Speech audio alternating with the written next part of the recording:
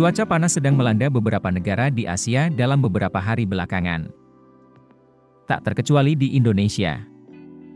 BMKG menyampaikan bahwa suhu maksimum harian yang pernah tercatat mencapai 37,2 derajat Celcius lewat pengamatan stasiun BMKG di Ciputat pada Selasa, 25 April 2023. Hingga kini, BMKG masih merilis suhu maksimum yang berada dalam kisaran 3,4 derajat Celcius hingga 3,6 derajat Celcius di beberapa lokasi di Indonesia. Lantas, apa dampak dan kapan puncak suhu panas akan terjadi di Indonesia? Kepala Biro Komunikasi dan Pelayanan Publik Kementerian Kesehatan, Kemenkes, Siti Nadia Tarmizi mengatakan, suhu panas yang terjadi di Indonesia memiliki beberapa dampak untuk tubuh.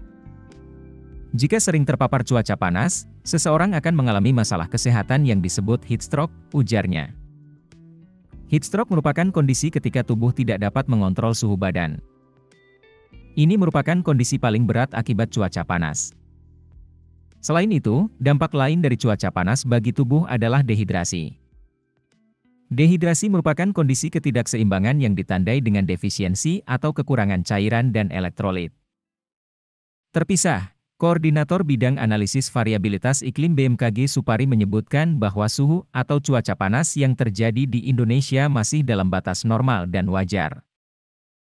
Sebenarnya suhu yang terjadi akhir-akhir ini di Indonesia masih dalam range historis pencatatan suhu kita, jadi bukan rekor baru sebetulnya, ujarnya. Kendati demikian, ia menyampaikan beberapa dampak akibat dari suhu panas yang bisa terjadi, beberapa di antaranya sebagai berikut. 1. Dehidrasi. 2. Mengeluarkan keringat secara berlebih.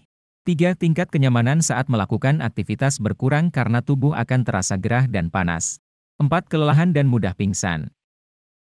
Lebih lanjut, Supari menyampaikan bahwa masing-masing daerah memiliki pola puncak suhu maksimum yang berbeda-beda.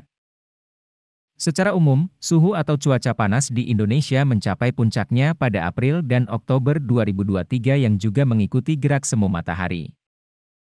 Namun, ada juga beberapa daerah yang sepanjang musim kemarau nanti suhunya tetap panas karena tingginya penyinaran matahari akibat langit yang cerah, pungkasnya.